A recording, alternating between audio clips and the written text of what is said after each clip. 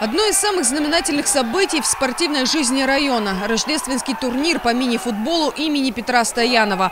Традиционно проходит он при поддержке Федерации футбола Молдовы. В этом году он собрал максимальное за всю свою историю количество команд. Населенные пункты Тераклийского района, Гагаузия, Украина – выросло не только количество команд, но и качество игры. Такого масштаба не ожидали даже сами организаторы – сыновья заслуженного тренера. Зрителей на этом турнире пришло огромное количество. В этом году у нас на турнире участвует очень много команд, которые до этого не участвовали. И очень много команд с Гагаузии, много команд с Тарклийского района. И эти команды, которые даже малое количество жителей в селе, но они все равно собирают команду и приезжают. И много было хороших команд открытий у нас в этом году, таких команд, как Софиевка, как э, Алуа, как Тараклийский государственный университет. Очень хорошо выступили э, наши юноши ДЮСШ Тараклии и порадовали зрителей. И на этом турнире в финале у нас участвует и очень хорошая команда рефери из Кишинева, составленная из лучших арбитров э, национальной дивизии и дивизии А, которые порадовали зрителей своей качественной, хорошей игрой. Хотелось бы поздравить все, все сообщество футбольной Молдовы с очередным переизбранием президента Федерации футбола Молдовы Павла Георгиевича Чебану. Это очень хорошее событие. И вчера буквально Павел Георгиевич э, подчеркнул, что если все наше сообщество футбольное, мы будем едины, все будем работать на благо молдавского футбола, то успехи будут и успехи не за горами. Новички турнира, о которых говорил главный судья, команда «Реферис» из Кишинева, в которой сегодня выступает другой сын заслуженного тренера Петр Стоянов. Практически каждый игрок команды не понаслышке знает об этом традиционном состязании и в честь кого оно проводится. Я думаю, что это, э, ну, наверное, на юге это один из самых лучших э, организованных турниров э, в честь Петра Ивановича Стоянова. Мы знаем, что это был выдающийся тренер для Тараклии. Он воспитал много, многих игроков, в том числе и девятого номера с Таракли Рому Шумкина, который, я думаю, по праву должен стать лучшим игроком действительно он выделяется на, на фоне всех. Я думаю, что если был бы Петр Иванович жив, он бы гордился своими воспитанниками. Игроки реферис не профессиональные футболисты и постоянного состава у них нет.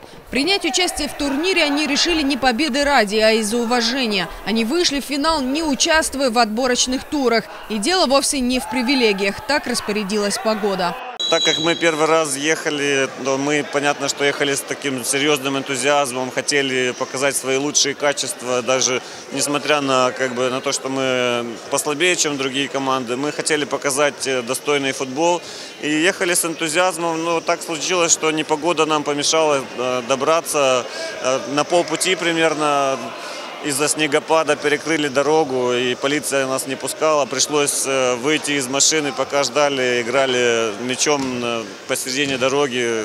Это местные жители из села Кирсово, когда вышли, увидели, что какие-то 10 человек там играют на снегу с мячом, футбол, когда метель.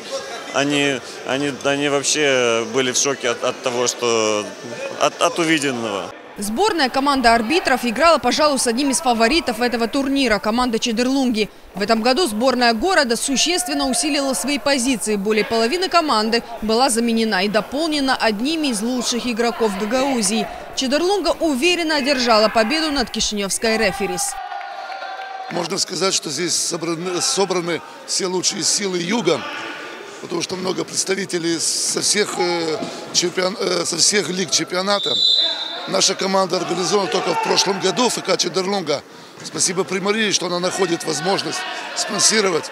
Э, комплектование команды идет по ходу сезона. Много трудностей, но э, команда усилилась. И Ябажим, усилилась Узун, усилилась с Марковым Петром.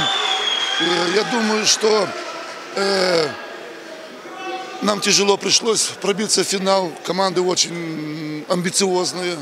У всех игроков есть желание выиграть, у всех показать себя.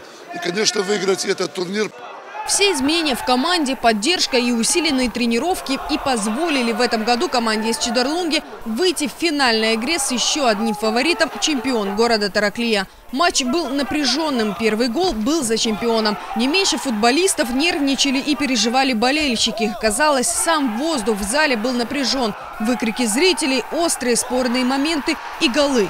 К середине второго тайма счет был равным 3-3. Однако в последние минуты команда Чедерлунги сумела выйти вперед, забив гол.